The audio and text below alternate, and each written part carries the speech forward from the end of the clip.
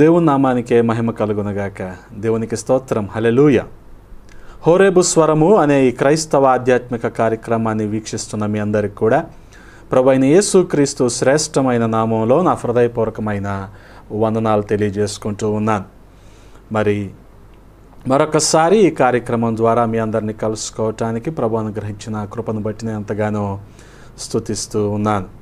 ఈ సమయంలో పరిశుద్ధ గ్రంథము నుండి రోమిలకు రాసిన పత్రిక ఐదవ అధ్యాయము ఐదవ వచనాన్ని నేను చదువుతున్నాను జాగ్రత్తగా గమనించండి. ఎందుకనగా ఈ నిరీక్షణ మనలను సిగ్గుపరచదు. మనకు అనుగ్రహింపబడిన పరిశుద్ధాత్మ ద్వారా దేవుని ప్రేమ మన హృదయములలో కుమ్మరింపబడి ఉన్నది. ప్రార్థన. పరిశుద్ధుడా ప్రేమగల తండ్రి ఈ సమయంలో హోరేబు స్వరం అనే కార్యక్రమాన్ని అయినా మీరు దీవించండి ఆశీర్వదించండి. ఎవరైతే ప్రభా ఈ కార్యక్రమాన్ని వీక్షిస్తున్నారో తండ్రి వారిలో మీ ఆత్మకార్యాన్ని జరిగించండి. మీ అత్యంత ప్రేమ కనికరాన్ని బట్టి కృపను బట్టి ప్రభా ఈ కార్యక్రమాన్ని కొనసాగించుండగా నీ ఆత్మకార్యాలను జరిగించమని బతిలాడుకుంటూ ఉన్నాం. ప్రభా మీరు మాకు ఇచ్చిన వాక్య భాగాన్ని బట్టి మీకు స్తోత్రాలయ్యా. దీన్ని ధ్యానించటానికి తగు శక్తిని నాకు దయచేయమని బతిలాడుకుంటూ ఉన్నాం. నాయనా నాతో మాట్లాడండి మా అందరితో మాట్లాడండి. విశేషముగా నాయన పేరు పేరున ప్రభా మా అందరితో మీరు మాట్లాడండి. మా ఆత్మీయ స్థితి మెరుగుపరచబడులాగున. నాయనా మా జీవితాలు కట్టబడులాగున. తగు మార్గదర్శకత్వాన్ని నీ పరిశుద్ధ గ్రంథము నుండి మాకు అందించమని బతిలాడుకుంటూ ఉన్నాం.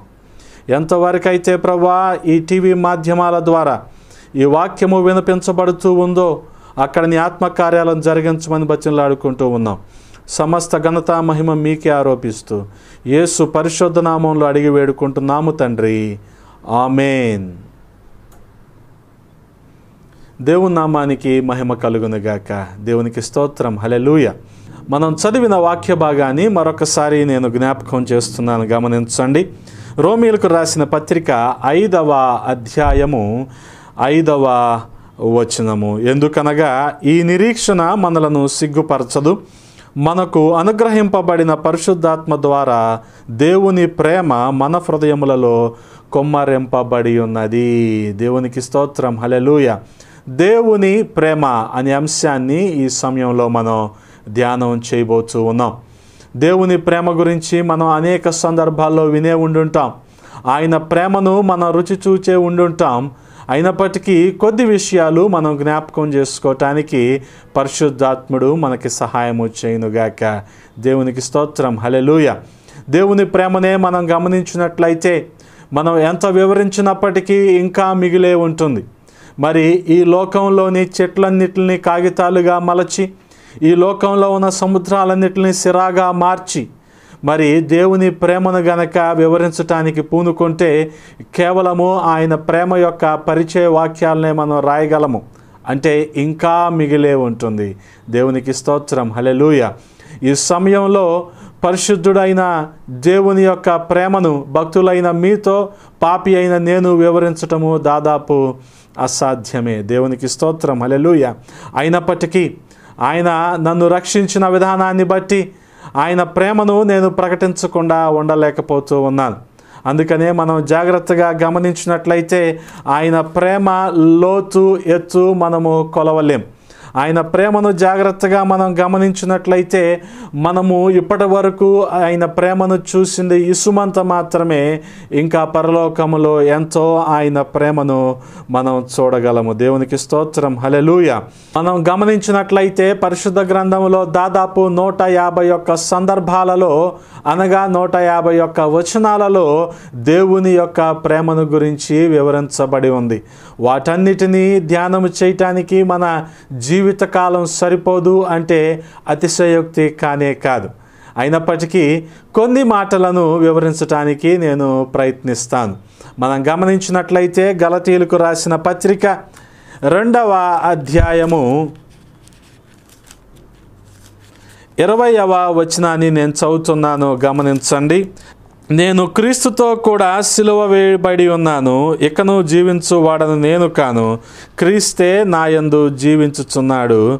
నేనిప్పుడు శరీరమందు జీవించుచున్న జీవితము నన్ను ప్రేమించి నా కొరకు తన్ను తాను అప్పగించుకొనిన దేవుని కుమారుని అందలి విశ్వాసము వలన జీవించుచున్నాను. దేవునికి స్తోత్రం. హలెలూయ ఇక్కడ అపోస్తుళ్ళైన పౌలు గలతీలకు రాస్తూ ఇక్కడ తనను ప్రేమించిన అనగా నన్ను ప్రేమించిన ప్రేమ అని అపోస్తుళ్ళైన పౌలు మాట్లాడుతూ ఉన్నాడు. నన్ను ప్రేమించిన ప్రేమ. దేవునికి స్తోత్రం. హలెలూయ మనం గమనించగలిగినట్లయితే సౌలు పౌలుగా మారక మునుపు ఎటువంటి భయంకరమైన జీవితాన్ని జీవించాడో మనందరికీ తెలుసు. ఒక హింసకుడిగా ఒక దోషకుడిగా దేవుణ్ణి మరి ఆయాస పెట్టిన జీవితము సౌలులో మనం చూస్తూ ఉన్నాం.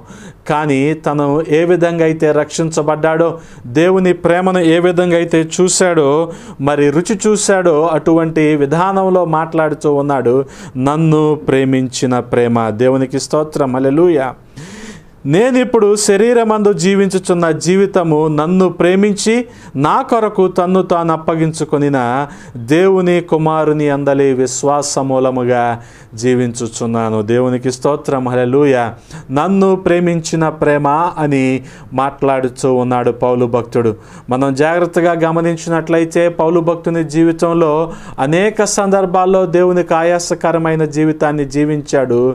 ఇక మీదట అటువంటి జీవితాన్ని కాకుండా తన కొరకు ప్రాణం అర్పించి సిలువలో మరణించి తన కొరకు త్యాగమైపోయిన దేవుని విశ్వాస దేవుని అందు విశ్వాస మూలముగా అనగా దేవుడు నన్ను ప్రేమించిన విధానాన్ని బట్టి అతడు జీవిస్తున్నట్లుగా మనం చూస్తూ ఉన్నాం.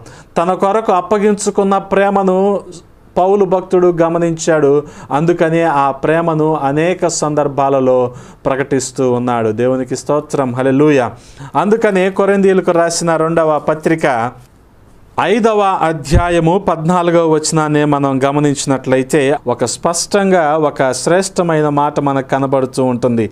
క్రీస్తు ప్రేమ మమ్మను బలవంతము చేయుచున్నది. ఎలాగనగా అందరి కొరకు ఒకడు మృతి పొందిన గనుక అందరూ మృతి పొందిరనియు. జీవించు వారికి మీదట తమ కొరకు కాక తమ నిమిత్తము మృతి పొంది తిరిగి లేచిన వాని కొరకే జీవించుటకు ఆయన అందరి కొరకు మృతి పొందిననియు నిశ్చయించుకొనుచున్నాము దేవునికి స్తోత్రం. హలెలూయ క్రీస్తు ప్రేమ మమ్మల్ని బలవంతం చేస్తుంది. కారణం ఏంటంటే ఆయన మా అందరి కొరకు జీవించి ఆయన మా అందరి కొరకు సిలువలో మరణించి పునరుద్ధానుడై తిరిగి ఆరోహణమై అందరి నిమిత్తము ఆయన మరి ప్రాణాలను అర్పించినట్టుగా మనం చూస్తూ ఉన్నాం. దేవునికి స్తోత్రం. అలెలుయ కాబట్టి అటువంటి ప్రేమ మమ్మల్ని బలవంతం చేస్తూ ఉంది. దేవునికి స్తోత్రం. హలెలుయ అందుకనే మనం జాగ్రత్తగా గమనించినట్లయితే ఇక్కడ పౌలు భక్తుడు దేవుని ప్రేమను వివరించకుండా ఉండలేకపోతూ ఉన్నాడు. దేవుని ప్రేమను ఆయన పత్రికల ద్వారా ఇతరులకు తెలియజేయకుండా వారిని ఆ ప్రేమ పట్ల వారిని ప్రోత్సహించకుండా పురికొల్పకుండా ఉండలేకపోతున్నాడు. కారణం ఏంటంటే ఆ ప్రేమ నన్ను ప్రేమించిన ప్రేమ అది బలవంతము చేస్తూ ఉంది. దేవునికి స్తోత్రం. హలెలూయ అందుకనే మనం చూసినట్లయితే ఆ ప్రేమ మరి ఎటువంటి హద్దులు కానీ ఎటువంటి పరిమితులు కానీ లేని ప్రేమ. దేవునికి స్తోత్రం. హలెలూయ నన్ను ప్రేమించిన ప్రేమను అనగా ఏ విధంగా అయితే సౌలును పౌలుగా మార్చిన ప్రేమ గురించి పౌలు భక్తుడు మాట్లాడుతూ ఉన్నాడో ఈ సమయంలో ఈ కార్యక్రమాన్ని వీక్షిస్తున్న నా ప్రియ సహోదరుడా సహోదరి నన్ను ప్రేమించిన ప్రేమను బట్టి అనేకులకు నేను ప్రభువుని గురించి పరిచయము చేయకుండా ఉండలేకపోతున్నాను. అదేవిధంగా ప్రతి ఒక్కరము కూడా దేవుని ప్రేమను వారి జీవితాల్లో అనుభవించిన రీతిని బట్టి వారు ప్రభువుని ఇతరులకు పరిచయం చేయకుండా ప్రభువుని ప్రకటించకుండా ఉండలేక పోతున్నారు. దేవునికి స్తోత్రం. హలెలూయ అటువంటి ప్రేమను మనము చాటి చెప్పవలసిన వారమై నన్ను ప్రేమించిన ప్రేమ దేవునికి స్తోత్రం. హలెలూయ ఆ ప్రేమకు హద్దులు లేవు ఆ ప్రేమకు షరతులు లేవు. ఈ మనుషుల ప్రేమల్లో అయితే కొదవలు ఉంటాయి షరతులు ఉంటాయి. అందుకనే మనుషుల ప్రేమలను వివరించాలంటే పెడితే పెళ్ళి అంటారు పెట్టకపోతే చావు అంటారు. ఆ విధంగా మనుషుల ప్రేమలు కొన్ని పరిమితులకు లోబడి ఉంటాయి. కానీ మనం గమనించినట్లయితే దేవుని ప్రేమకు ఎటువంటి హద్దులు లేవు ఎటువంటి షరతులు లేవు. దేవునికి స్తోత్రం. హలెలూయ నన్ను ప్రేమించిన ప్రేమను గురించి పౌలు భక్తుడు గలతీలకు రాసిన పత్రిక రెండవ అధ్యాయము ఇరవై వచనంలో మాట్లాడుతూ ఉన్నాడు. కాబట్టి చూసినట్లయితే దేవుని ప్రేమ మరి మొదటిగా నన్ను ప్రేమించిన ప్రేమ దేవునికి స్తోత్రం. హలెలూయ అదేవిధంగా మనం గమనించినట్లయితే మరి యోహాను సువార్త పదమూడవ అధ్యాయము మొదటి వచనాన్ని నేను చదువుతున్నాను గమనించండి. తాను ఈ లోకము నుండి తండ్రి యొద్దకు వెళ్ళవలసిన గడియ వచ్చినని యేసు పస్కా పండుగకు ముందే ఎరిగిన వాడై లోకములోనున్న తన వారిని ప్రేమించి వారిని అంతము వరకు ప్రేమించెను. దేవునికి స్తోత్రం. అలెలుయ ఆయన ఈ లోకాన్ని విడిచిపెట్టి వెళ్ళవలసిన సమయం వచ్చింది. అనగా ఆయన తండ్రి పని నిమిత్తం ఈ లోకానికి వచ్చాడు ప్రజలను ప్రేమించాడు.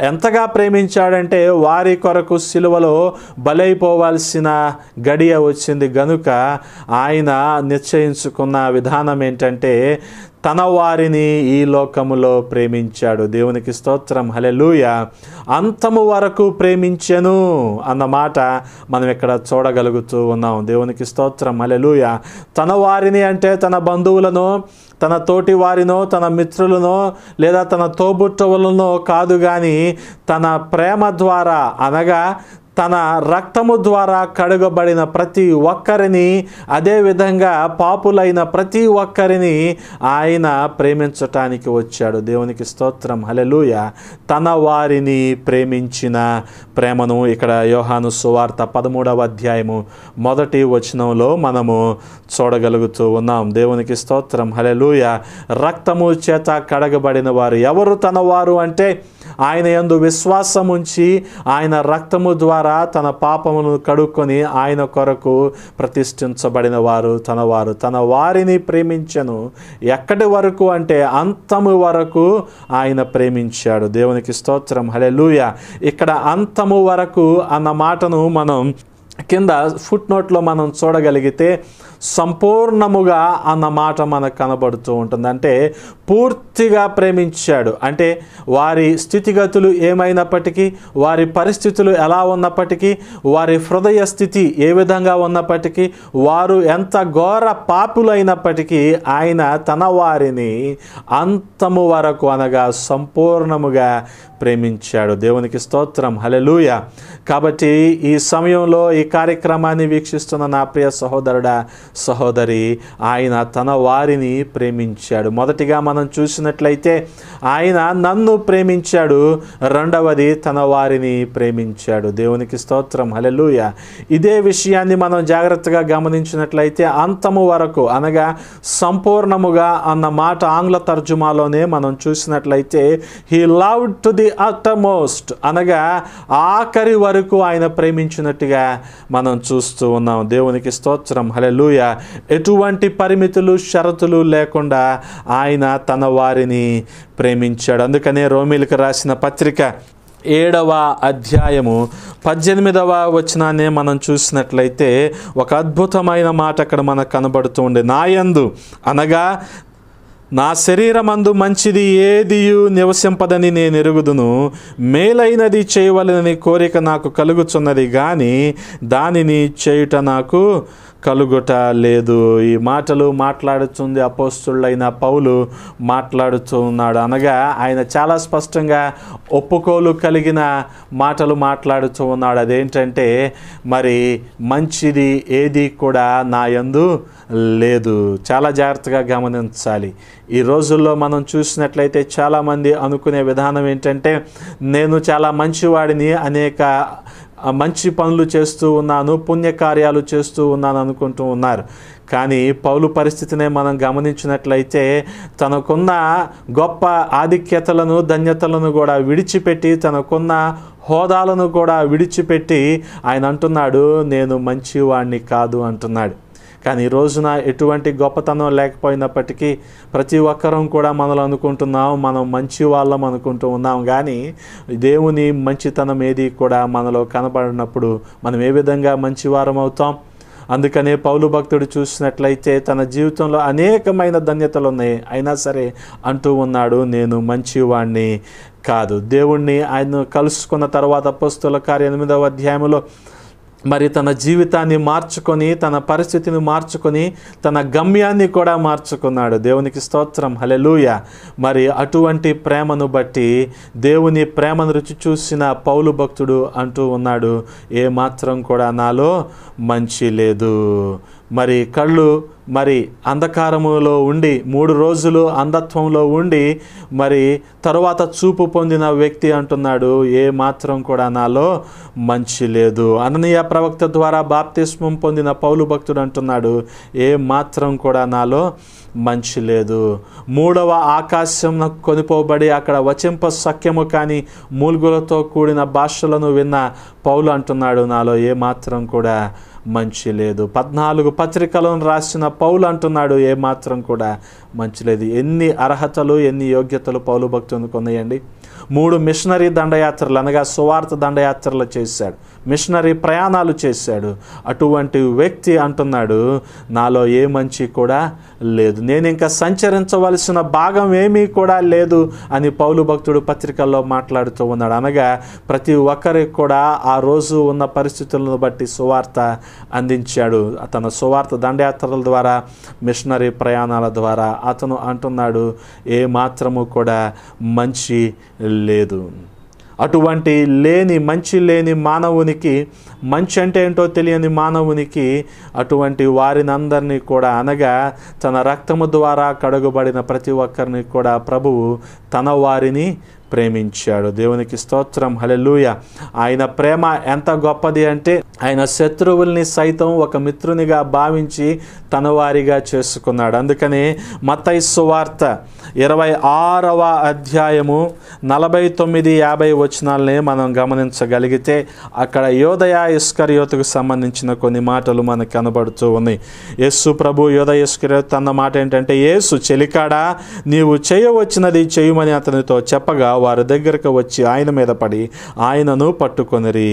ఇదిగో యేసుతో కూడా ఉన్న వారిలో ఒకడు చేయి చాచి కత్తి దూసి ప్రధాన యాజకుని దాసుని కొట్టి వాని చెవి తెగ నరికెను. చాలా జాగ్రత్తగా మనం ఇక్కడ గమనించినట్లయితే మనకి ఇక్కడ యోదయ ఇస్కర్యోతు యేసు ప్రభువుని అప్పగించడానికి వచ్చాడు. మరి ముందుగానే వారితో ముప్పది వెండి నాణ్యాలకు ఒక ఒప్పందాన్ని చేసుకున్నాడు. నేను ఎవరినైతే ముద్దు పెట్టుకుంటానో అతనే యేసు ప్రభువు ఆయన మీరు బంధించాలి అని ఒక ఒప్పందం చేసుకున్నాడు. అందుకనే వచ్చి యేసు ప్రభు దగ్గరికి వచ్చాడు. చుట్టూ సైనికుల్ని తీసుకొని వచ్చాడు. మరి అప్పగించటానికి వచ్చిన యోదాయ ఇస్కర్యోతుతో యేసు ప్రభు మత్స్సు వార్త ఇరవై ఆరవ అధ్యాయం యాభయో వచ్చిన వాళ్ళు అంటున్న మాట ఏంటంటే చెలికాడా చెలికాడా అంటున్నాడు దేవునికి స్తోత్రం. అలెలుయ అనగా అటువంటి పరిస్థితుల్లో కూడా యేసు ప్రభు తన వారిని ప్రేమించినట్టుగా మనం చూస్తాం. అనగా స్నేహితుడా అని సంబోధించినట్టుగా చూస్తూ ఉన్నాం. మొదటగా చూసినట్లయితే నన్ను ప్రేమించిన ప్రేమ రెండవదిగా చూసినట్లయితే తన వారిని ప్రేమించిన ప్రేమ. దేవునికి స్తోత్రం. హలెలూయ అదేవిధంగా తీతుకు రాసిన పత్రిక మనం చూసినట్లయితే రెండవ అధ్యాయము పద్నాలుగవ వచనంలో ఒక శ్రేష్టమైన మాట మనకు కనబడుతూ ఉంది. ఆయన సమస్తమైన దుర్నీతి నుండి మనలను విమోచించి సత్క్రియలంద ఆసక్తి గల ప్రజలను తన కోసరము పవిత్రపరచుకొని తన సొత్తుగా చేసుకొనుటకు తన్ను తానే మన కొరకు అర్పించుకొనెను. దేవునికి స్తోత్రం. హలెలూయ ఆయన సమస్త దుర్నీతి నుండి విడిపించటానికి తనను తాను అప్పగించుకున్నట్టుగా మనం చూస్తూ ఉన్నాం. ఆ ప్రేమను బట్టే మనము పవిత్రులుగా నీతిమంతులుగా తీర్చబడుతున్నామన్న సంగతి మనం మర్చిపోకూడదు. అందుకనే మనం రోమిలకు రాసిన పత్రిక ఐదవ అధ్యాయము ఏడు ఎనిమిది వచనాల్లో చూసినట్లయితే చాలా స్పష్టంగా ఒక మాట మనకి కనపడుతూ ఉంటుంది. నీతిమంతుని కొరకు సహితము ఒకడు చనిపోవుట అరుదు.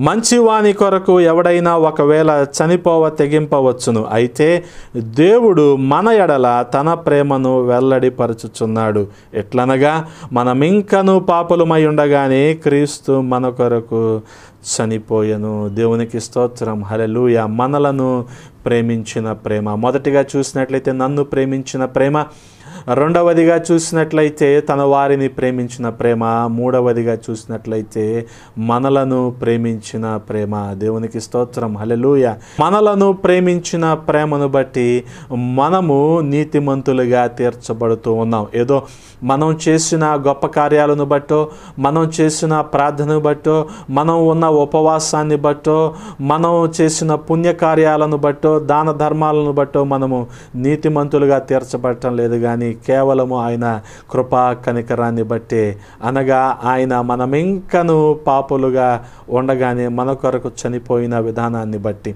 సిలువలో మన కొరకు త్యాగమైన విధానాన్ని బట్టి మరణించి మన కొరకు పునరుద్ధానమైన విధానాన్ని బట్టే మనము పవిత్రులుగా తీర్చబడుతూ ఉన్నాం. ఇది మనలను ప్రేమించిన ప్రేమ.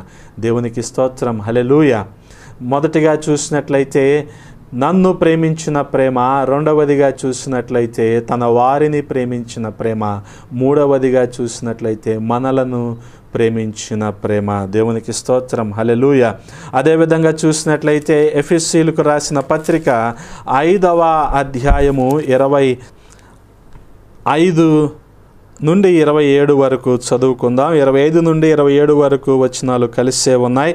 అపోస్తుడైన పౌలు ఎఫ్ఎస్సీలకు రాసిన పత్రిక ఐదవ అధ్యాయము ఇరవై ఐదు నుండి ఇరవై ఏడు వరకు. పురుషులారా మీరును మీ భార్యలను ప్రేమించుడి అటువలే క్రీస్తు కూడా సంగమును ప్రేమించి దేవునికి స్తోత్రం. హలెలూయ అది కలంకమైనను ముడత అయినను అట్టిది మరి ఏదైనను లేక పరిశుద్ధమైనదిగాను నిర్దోషమైనదిగాను మహిమగల సంగముగాను ఆయన తన ఎదుట దానిని నిలువబెట్టుకొనవలెనని వాక్యముతో ఉదక స్నానము చేత దాన్ని పవిత్రపరచి పరిశుద్ధపరచుటకై దాని కొరకు తన్ను తాను అప్పగించుకొనెను. దేవునికి స్తోత్రం. హలెలు ఇక్కడ చూసినట్లయితే సంఘమును ఆయన ప్రేమించాడు. ఎలాగైతే పురుషులు తన భార్యను ప్రేమిస్తారో క్రీస్తు సంఘమును ప్రేమించాడు. సంఘమును ప్రేమించిన ప్రేమ. దేవునికి ఎఫ్ఎస్సీలకు రాసిన పత్రికలో మరి చూసినట్లయితే